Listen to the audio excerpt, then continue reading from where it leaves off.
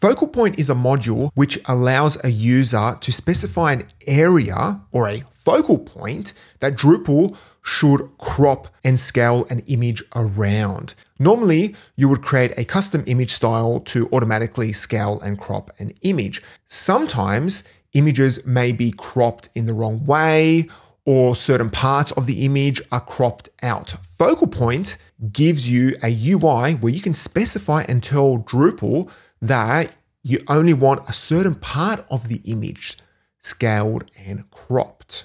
So let me show you how to use it. Start things off by downloading the module using Composer and then go to extend and search for focal point. Now, focal point has a dependency on crop API, but when you download focal point, it'll also download crop API. Now, the first thing you need to do is change the widget used on an image field. So go to structure, content types, and let's change the widget on the image field on article. Click on manage form display and then find image and change it from image to focal point. Now, this can be adjusted on an image field which is attached to a media entity. I'm just doing it on the article content type just so that we don't spend 20 minutes in this video. So select image focal point and then from the cogwheel, you want to select a different preview image style because this one is a little too small. So change it to 480 by 480, or you can create your own custom image style.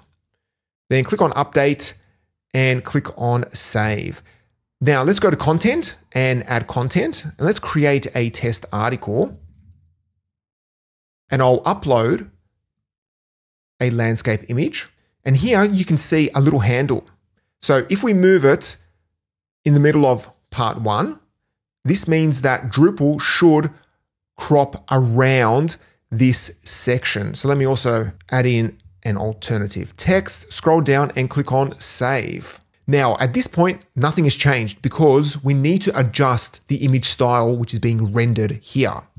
So let's open up another tab, go to configuration, scroll down and click on image styles and then click on add image style and then give your image style a name. I will call it wide and then give it focal and click on add new image style. And then from the select a new effect, make sure you select one of these focal point image effects. I'll select focal point, scale and crop, click on add, and let's resize it so it's 800 by 800 and click on add effect then save.